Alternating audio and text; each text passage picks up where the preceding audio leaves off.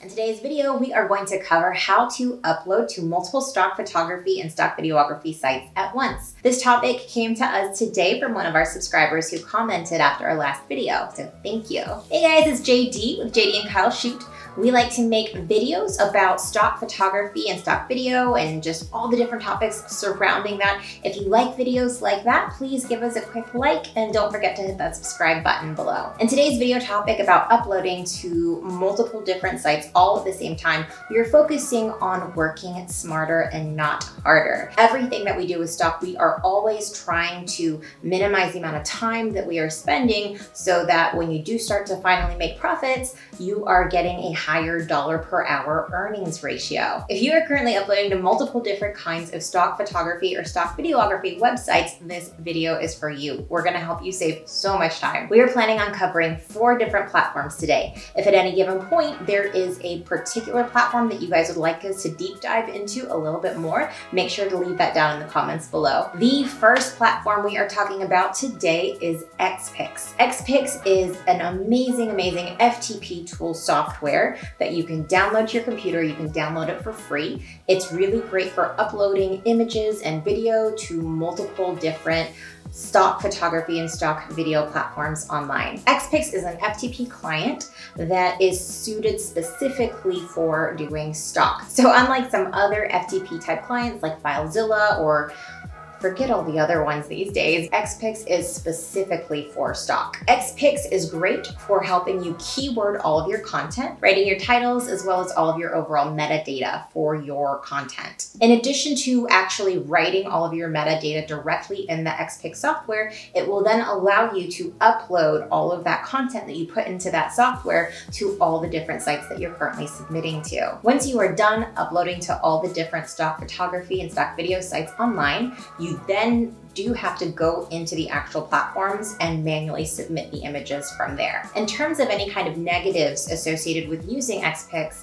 it is an open source free software. So you can't really complain a lot because it's free, but in terms of how well it works or doesn't work, I will say that if you are doing specifically just photos, it works really, really well, at least in our own experience. However, we did start noticing a couple of hiccups when we were trying to upload video using the software. We were finding because with video files, the video files are so large, it would hang up in the middle of an uploading process. So we would stick a bunch of videos in there, we would keyword everything, we would fill out all the metadata, but then once we started uploading it, it would take a really, really long time because the file sizes for video are just much, much larger than for photo. So when all the video content was starting to upload online, a lot of times our internet connection would kind of fizzle, go in and out. And if you have any kind of start and stop internet, or if you know your router isn't super perfect and it tends to kind of go out sometimes, then it can interrupt that uploading cycle. And we ended up having to actually re-upload things multiple times again. It was super, super frustrating to have to do that, which is what will bring me actually to our next platform that we're gonna talk about and kind of our solution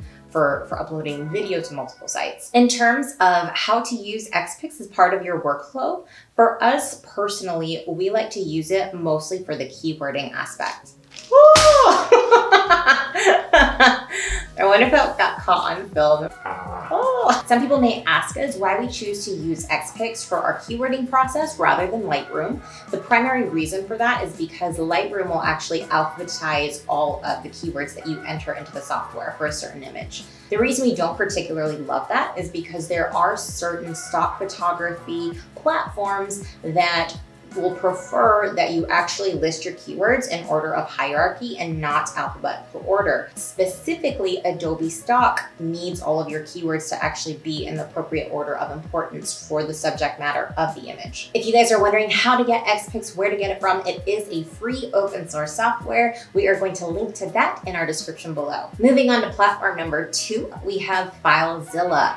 FileZilla we started using because we needed a good FTP service to be able to upload our video to multiple different companies at a time. FileZilla is a general FTP client software which is not entirely dedicated specifically to stock, so we don't really use it for any kind of keywording, but when it comes to just reliability and uploading lots of video files two different online companies all at the same time, it works really, really well. FileZilla is particularly great if you guys are really looking for a reliable way to upload your images online to a lot of different companies. Anytime we are looking to upload our video files to all of our own personal profiles on Shutterstock, Adobe Stock, and Pond5, and all the other different companies we upload to, we are usually using FileZilla because it is the easiest and most reliable way for us to get all of our videos online. If you guys are wondering where you can get a copy of FileZilla, it is a free piece of software. We're going to link that down in the description below as well. The third company we are going to talk about is Blackbox. I'm sure at this point, a lot of you have heard about Blackbox.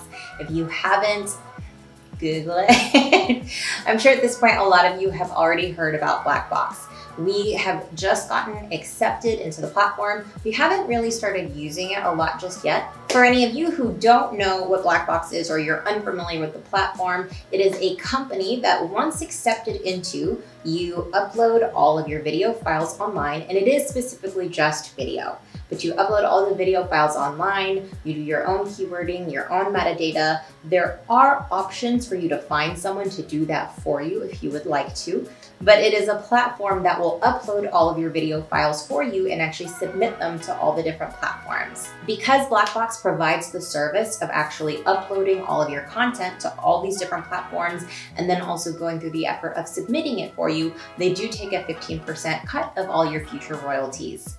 The reason we decided to get involved with Blackbox personally is because we noticed that every time we were uploading video online to all of our different platforms that we are currently submitting to, we realized that we were go we were just burning through our internet data. There came a point last year where we actually had to add on a lot of extra data because we were just burning through our data caps so quickly. When it comes to uploading a lot of photos versus uploading a lot of videos, videos are such, such bigger in size than pictures are. So in terms of how much bandwidth you use when you're actually uploading all of this content online, we realized that we were just burning through our data cap so much faster of a rate when we were trying to upload video to all the different platforms. If you guys have an amazing internet package and you don't have any kind of data caps, you've never hit your data caps before, and you don't mind going through the additional extra effort of just manually submitting all of your video files to all the different companies on your own, or maybe you're only currently submitting to one or two,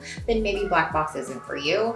But if you are looking to grow and you're looking to get your stuff out there faster and not have to pay for that extra data that's required to get it out there, then definitely consider Blackbox. If you guys are wondering how to sign up with Blackbox or how to get started, we've included a link below. And finally, we have our platform number four, which is actually our favorite, favorite platform that we just got involved with recently. It is wirestock.io. We first found out about wirestock.io from one of our subscribers. Special, special thank you to that subscriber. We are, it's been life changing, honestly. It is another company that's similar to Blackbox. However, Blackbox only does video. They don't really have any solutions for photo.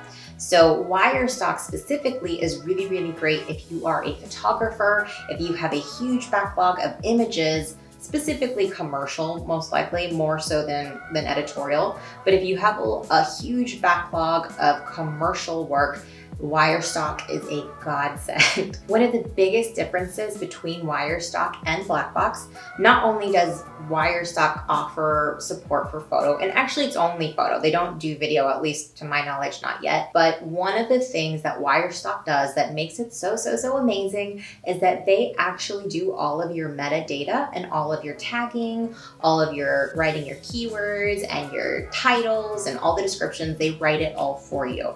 They do also, just like Blackbox, take a 15% cut, but they, they do a lot for that 15%. So for example, for us specifically, we have a huge, huge backlog of images from the last 10 to 12 years. I have been a full-time wedding photographer for over 12 years now. So I have a huge backlog of all these different wedding photos to go through. Uh, and while we're not going to be posting images of our clients from their wedding days, because that would kind of be weird. we are specifically looking for images that might have some kind of commercial value. So a lot of times there are portions of the wedding day when we are photographing exchanging of the rings at the ceremony. It might be a really close up tight shot of the hands. There are some elements of the day where we can actually pull photos that have some kind of commercial value to them. So how we are choosing to use Wirestock in our business today is we are actually going back to previous backlogs of images and finding images that have some kind of commercial value, throwing them into Wirestock, submitting, and then Wirestock from there will keyword all of our images, they'll write all the titles and the descriptions, they submit it to all the different sites, and whenever they make a sale, it comes into our Wirestock account, and then that's it. Super, super easy. In terms of any kind of negative aspects to Wirestock, we are pretty new to the software, so we haven't really found very much just yet but they do only focus in photo. So if you're wanting to also do video, they don't do that just yet. If you have a lot of editorial work to submit, for us personally, we are not submitting our editorial work through Wirestock. The primary reason for that is because Wirestock takes a 15% cut of anything that you submit through them. So with our commercial work, it's really great because they will do all the keywording, they do all the metadata for you. However, when it comes to your editorial work, they don't touch it. They'll submit it to all the different companies, but only once you actually write your own metadata. I don't know if this is something that they're planning to update in the future. I thought I heard the grapevine that they were working on some kind of a fix for this. I'm not sure. But as of right now, if you are trying to upload your editorial work, it might make more sense to upload that yourself through Xpiks. But that's just our own personal opinion. That's kind of what we are doing right now. If you guys are wondering how to get on board with Wirestock, it is a brand new company. So we're actually gonna link to that below as well. We are planning on doing a more in-depth video on Wirestock as well because it is so new. We're going to give our feedback on just kind of reviewing the software and what our experience has been like so far. If you guys are wanting to learn any more about the topics more in depth that we covered today, please leave that in the comments below and let us know how you guys are doing with the coronavirus right now. I know the whole world is going crazy and everyone is doing what they can to stay sane. So if you guys are struggling with that or if there's anything specific that you guys would like to like us to cover in terms of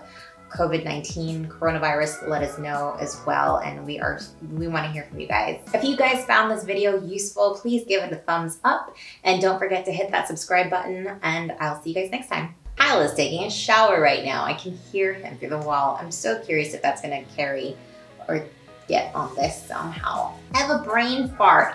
Mm. Okay, so,